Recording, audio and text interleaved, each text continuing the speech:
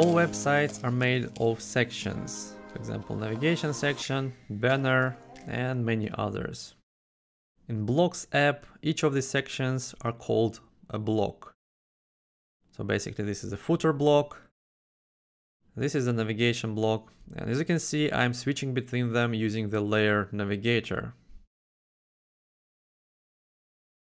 As I showed in the previous video, we also have the page navigator here, and here we can switch between the pages. Of course, we can reorder them here. Very cool. Now, let me create a new project.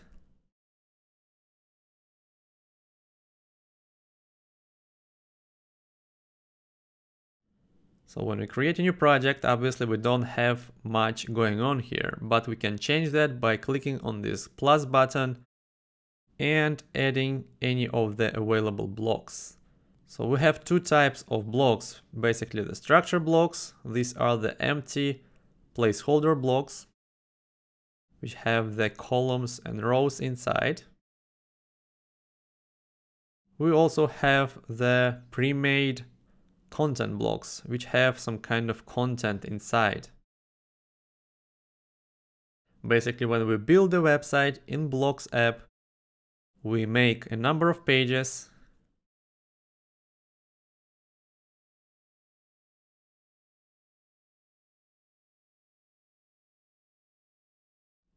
We add a number of blocks to each of the pages.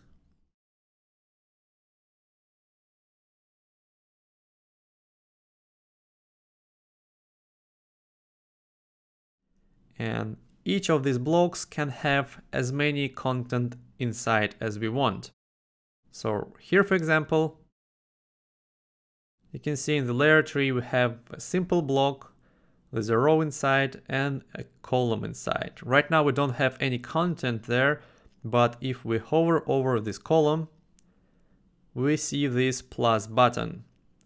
When you click on this, you can get to brick bar and this is where we add the content. You can see that Blocs 4 comes with a good collection of available bricks and you can use all of these to create any type of website. In a matter of fact, I have used only these bricks and I have built over 200 websites. But if you want more, you can go to Blocs Store and download three unpaid cool looking custom bricks from third-party developers. So to add a brick to a column, just click on this button and select the brick you want.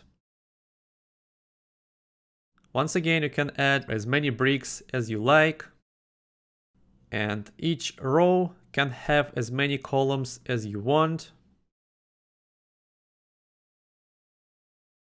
And each page can have as many rows as you want.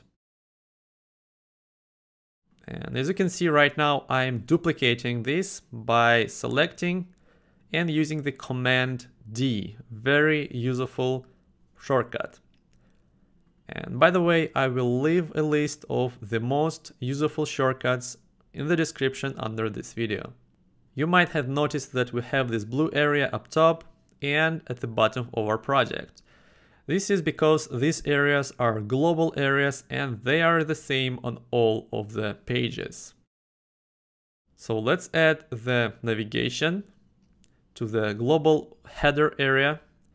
Basically what you will put in the global header area is navigations or some kind of content which you want to have on all pages. In the footer we can place, well, the footers.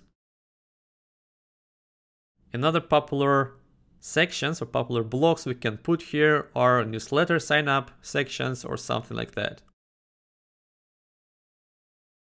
So when you build a structure in Blocs, you can select any of the elements such as blocks or bricks, duplicate them,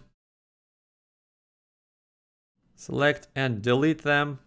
You can move them around by dragging and dropping or if you go to the sidebar in the layer tree, layer navigator, you can select the elements there and move them around not just between the same column but you can also move the columns to another blocks. You can move the whole blocks.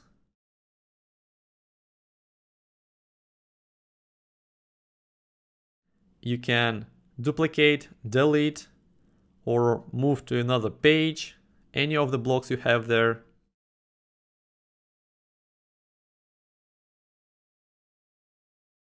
And basically you can adjust the structure of your website any way you want until you get to the right structure. So let's once again go to the Barista website. And let me summarize this video for you once again. All Blocs websites are made of pages. Each page is made of blocks, which are basically the sections. We can use the structure blocks to create our own layouts, or we can use the pre-built blocks if we want to save some time. Each of the blocks have the rows and columns inside, and inside each of the column we have the content such as text, forms, images, and other content. Blocs app comes with a number of very good bricks or content available for all of your websites, but if you want to install more, you can go to Blocs Store and download free and paid custom bricks for your Blocs project. So in the next video, we'll take a look at how we can adjust any of the elements on our design canvas.